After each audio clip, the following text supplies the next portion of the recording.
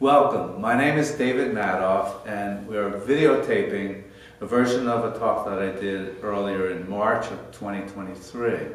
This talk is entitled Music is Nourishment for the Soul.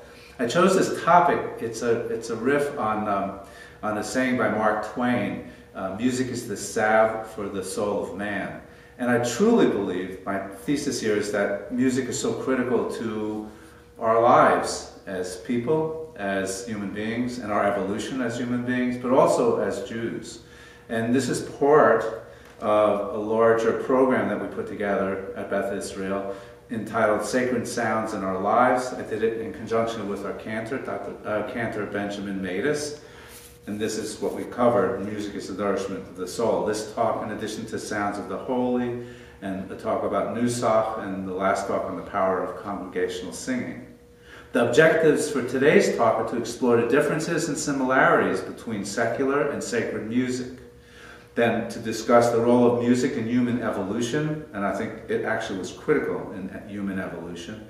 And to study the effects on brain activity. And what we'll show you is that listening to music, and especially playing music yourself, lights up the brain and, and activates the brain in many different areas. So first, I'd like to define what sacred music is. So the, the easiest definition is music for religious use is sacred music. But there are other uh, definitions around as well, and the one that I like best as a as an um, instrumentalist is music performed or composed through divine inspiration. Now, I think a lot of the music we hear, even pop, some popular music, is performed or composed through divine inspiration, and I'll show you some examples. And last is, is an interesting definition music that is special or set apart and not for common use. So, with those definitions of music, sacred music in mind, then let's go on to, uh, to discuss the rest of the talk. So, this is a wonderful, a wonderful um, uh, saying, a wonderful quote from Ian Cross in his article, Music and Cognitive Evolution.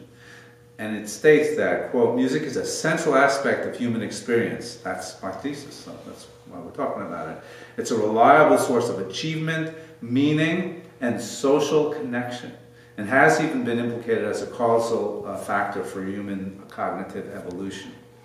So we're going to talk about that as well. So the first part of the talk will entail is I will play a musical piece that you may or may never have heard. Probably you've never heard these. Then I will discuss these questions. Is this a sacred? Is this a sacred or secular piece? And explain why. Is uh, what's the ethnic origin of the music, if we can determine that, and what words or emotions does this music invoke? Okay, so here's the first piece.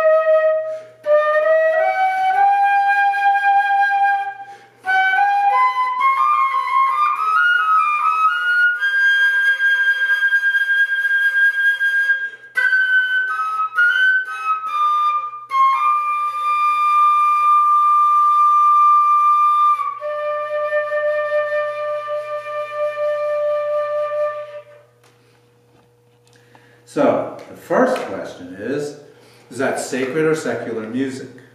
And many of the people at the talk that I did live thought it was a sacred piece. And I truly believe that's a, a sacred piece. And um, it, it's, it's different, it's nothing that you hear regularly, and to me it seems divinely inspired. And you'll see in a second there's actually other evidence why it might have been uh, divinely inspired. So, what's the ethnic, ethnic origin of the music? And it clearly sounds Jewish. And it sounds Jewish because of the mode or the scale that they use called the Freygish scale. And that's what this is.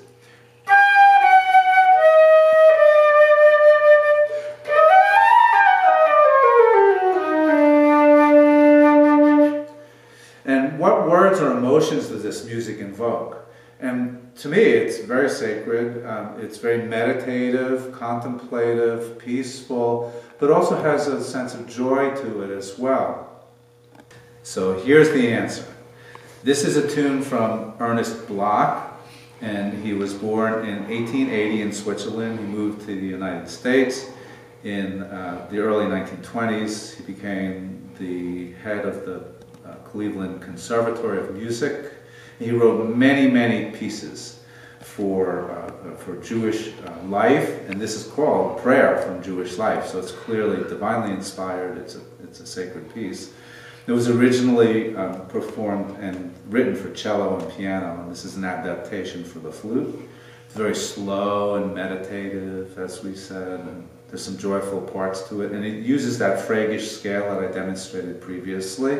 Now, this is a scale that we think is a Jewish scale, but it's actually uh, a scale that was used by klezmer artists, and here's a tune that uh, that's a klezmer tune.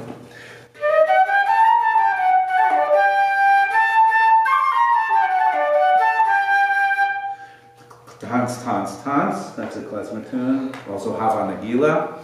But it was also, jazz players use it all the time. This is part of the alt or altered scale. It's also from Eastern Europe. Gypsies took it on, and the Gypsies took it from place to place as they migrated. So it's Persian, it's, Persian music has it, Arabic, Egyptian, Indian ragas have it, which I didn't know. Uh, Spanish flamenco dance, as flamenco music has it as well. So that's one example of what I think is a sacred piece. So here's the next example. And I'll play this piece and then we can talk, I'll talk about it.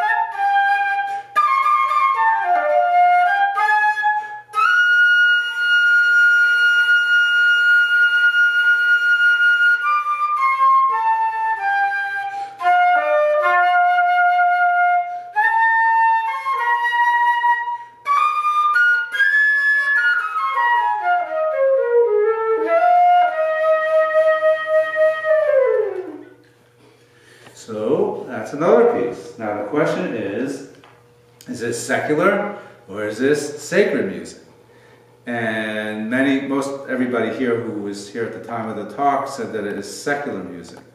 But I would contend that this is sacred music. And, um, and it's reminiscent of the black church. It's, it's, um, it's, it's uh, call and, and response type of thing. Da da da da da da da da da. That's the call. The response is da da da da da da da da da da. And it goes on like that. And it goes on like that. It has that high note. That's an exclamation mark. And um, the other question is, uh, is it what's the ethnic origin? I think it's a, a, a African American piece, and this is an ecstatic piece to me. It's just total joy. It turns out that this piece was written by Charlie Mingus, one of jazz's uh, best bass players, a prominent composer, and it's called Better Get Hit in Your Soul. Mingus was a superb, very highly irascible, a little crazy bassist, and he was a composer in the 50s and the, through the 70s. He, um, he played with Duke Ellington for all of two weeks, so you see why I'm saying irascible.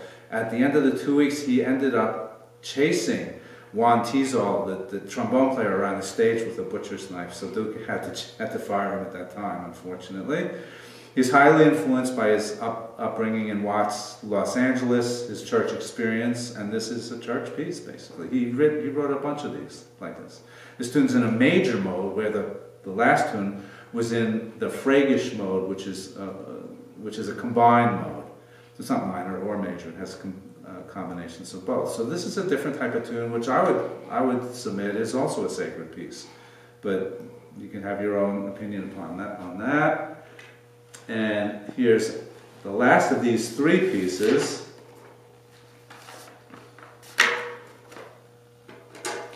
Excuse me.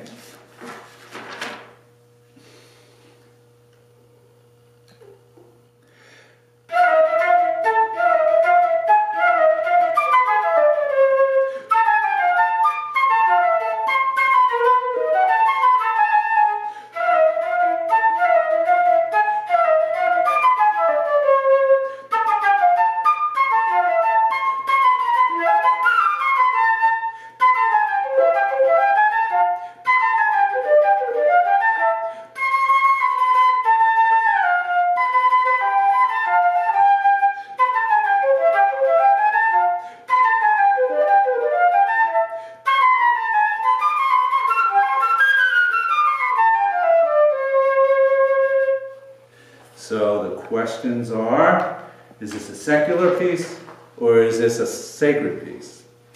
And um, you might have not believed me that I thought the last two were sacred pieces. I think this is actually a secular piece, and I have some evidence to support that. It's kind of a frivolous, fun piece. What's the ethnic origin? Well, it sounds like it could be from Latin America or South America. And what words does this music invoke? Fun, happy-go-lucky, free, that type of thing, to me at least. This was done by Zequinha de Abreu in 1917, an uh, Argentinian, no, Brazilian, Brazilian uh, composer. It's called Tico Tico no Fuba. It's a happy, very fast um, Brazilian choro music.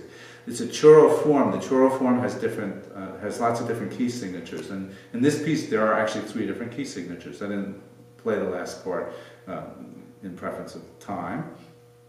The, uh, the title means rufous colored sparrow in the cornmeal. And rufous is a red tan color that they refer to birds a lot. So there's, there's a rufous colored hummingbird, etc. It's adapted, it's been adapted by Charlie Parker, but my favorite uh, uh, uh, person who took this on was the alto sax player who was born and raised in Baltimore, Gary Bartz. So if you listen to Tico Tico from Gary Bartz, you will have a blast. So we see different types of music. Sometimes it's very hard to distinguish whether they're secular and whether they're, um, they're sacred tunes. And, and the best I could say is if it feels sacred to you, it's a sacred tune. If it feels secular, it's a secular tune. It doesn't matter. But what it does matter is when we are praying together, and that's why we're doing this, uh, this, this talk on, on the sound of the sacred, to, to see, well, how does this affect me? Do, do I like it? Does it enhance my ability to, um, to feel the emotions of the, of the uh, liturgy that we're dealing with? So I want to go back a few thousand years, like many thousands of years, and talk about a theoretical timeline for ancient music evolution. And the reason for this is, one of my point is going to be, is that music is hardwired in the brain, that man and music and speech co-evolved over time over the last 60,000 years. So here we go. So the human voice is probably the oldest known uh, musical instrument, and the, um, the hyoid bone is essential for, for human speech and for human um, vocation, vocalizations as well. And that was first the oldest known Neanderthal hyoid bones from 60,000 years ago. And this is the hyoid bone, and it sits above the Adam's apple. And it helps support the vocal apparatus, larynx, etc. Without that, you don't you don't speak. So we think that that vocalization started back then, and we also many people think that music started back then as well. There are many many uh, antique, ancient flutes that were um, unearthed and dated back to 30,000 to 50,000 years ago. This is quite fascinating. These were mainly made out of bone. The one that the ones that survived were made out of bone, and they were carved out and just imagine 30 to 50,000 years ago or 60,000 years ago, uh, someone carved out a bone from a vulture and put holes in it and made sounds out of it. And the thought is that they were trying to imitate the birds. They might have been trying to attract the birds so they can capture them and eat them. Uh, it might have been a way to communicate long distance because it had that high pitch.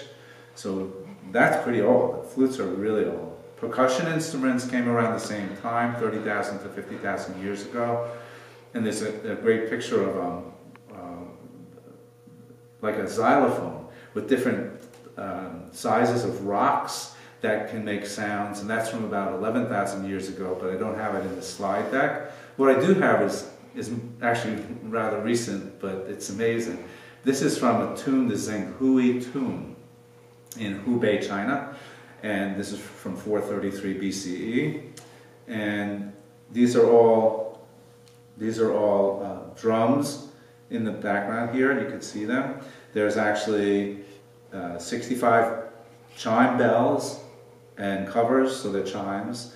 They cover five octaves, and in typical Eastern uh, music fashion, they have semitones between the two notes. So let's see if we can do it. This is an A. So the Zhenghui bells will have tones like, not the A,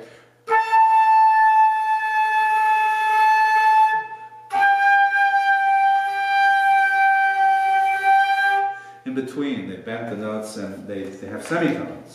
Well, I have to bend it to, to get that. The inscriptions of musical events and musical theory were on these bells, so it's really a, an amazing ancient uh, find. It's thought that there were actually five performers that, that, that did this when they had performances, and these were um, ritual performances for funerals as well.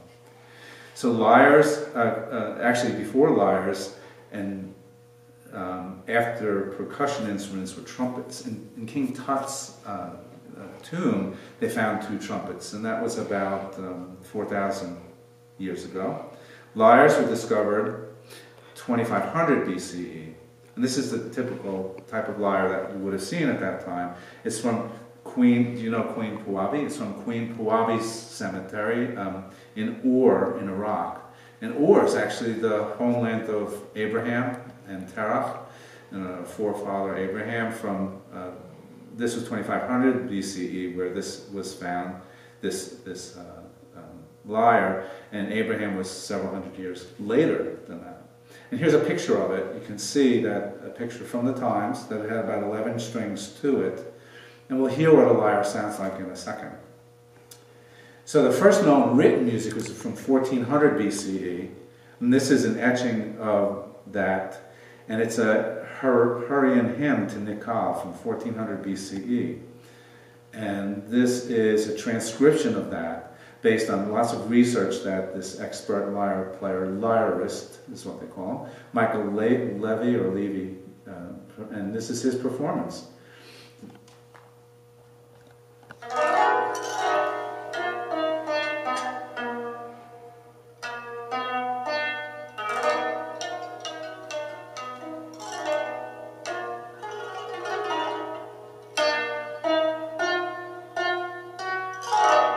So it's quite amazing. We're listening to music that was composed before the first temple was built. So I want to move on to some theories of the origin of music because it'll further cement that notion that that our human brain is wired to, to take on music and to appreciate music and it and music's evolution was part of our evolution. So Darwin said that um, music was developed as an elaborate form of sexual selection, and he, he developed that notion based on what lower animals do.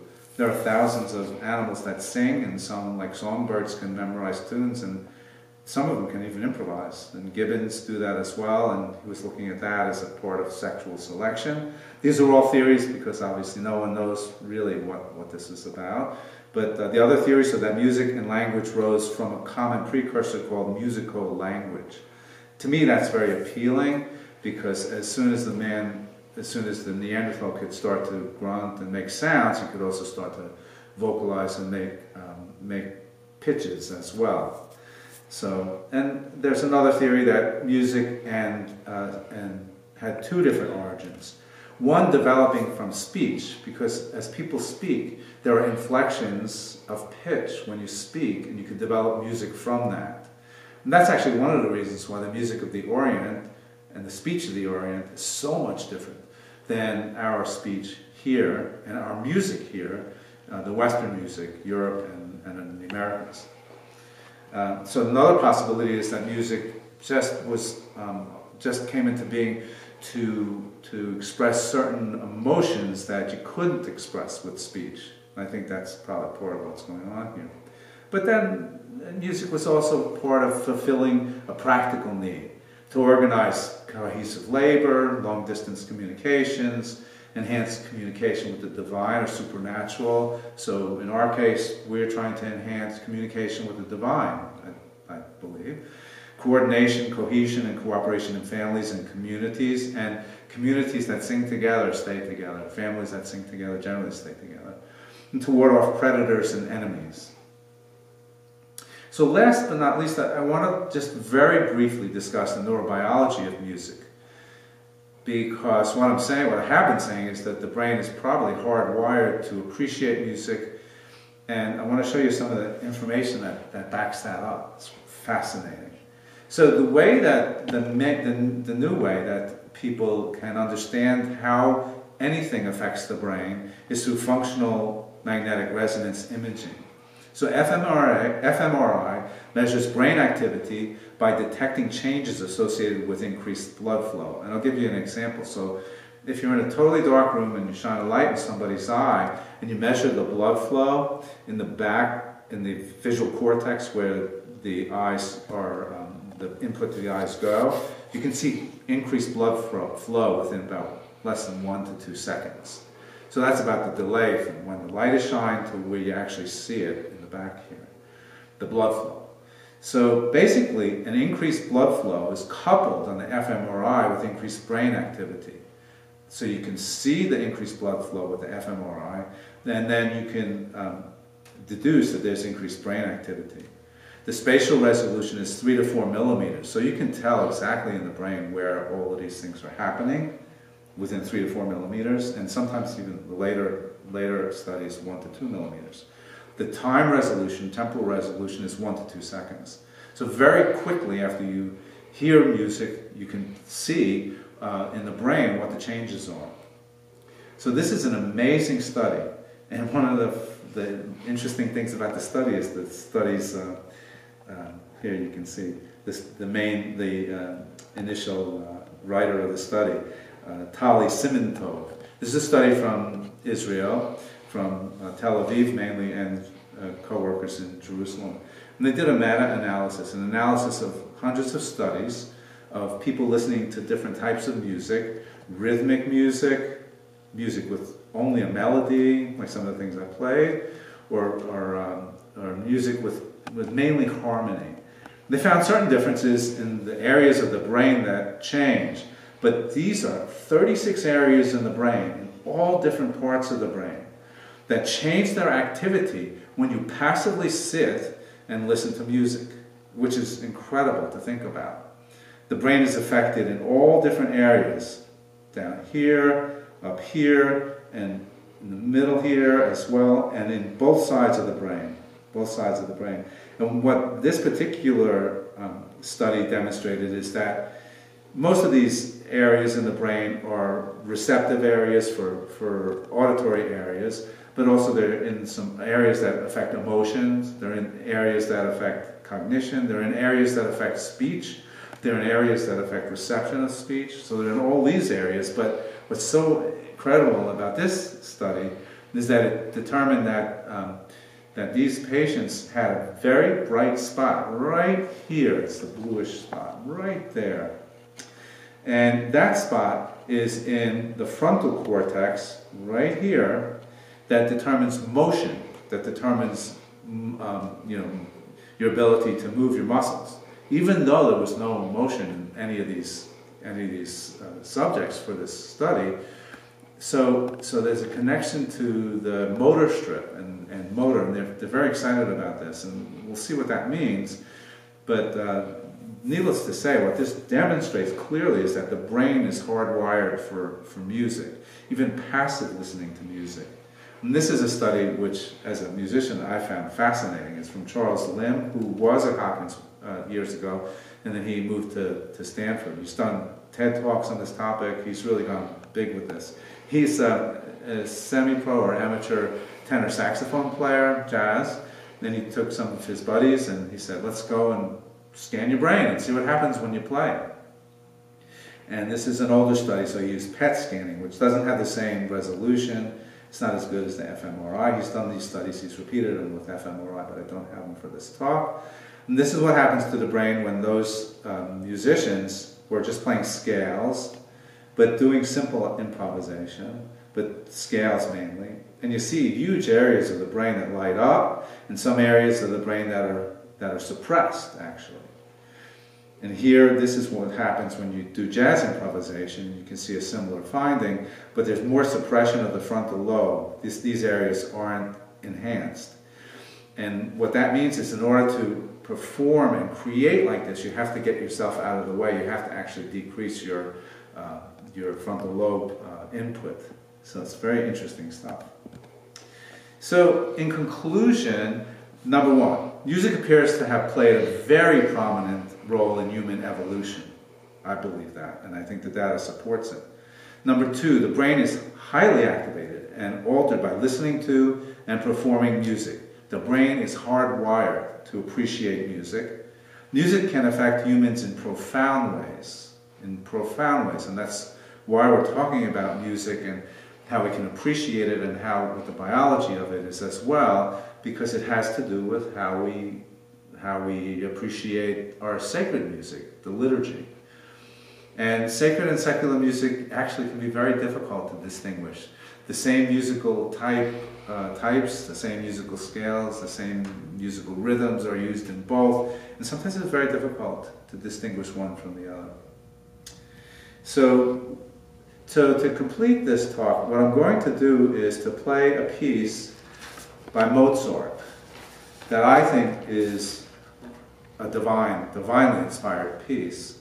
This was written in 1777 uh, when, at a time when Mozart was destitute, he was highly depressed, um, and he was looking for a job. He had just quit his job in Salzburg several months before. He's looking for a job and he, he can't find it. He's 21 years old at age uh, in 1777. He was born in 1756 uh, and died in 1791.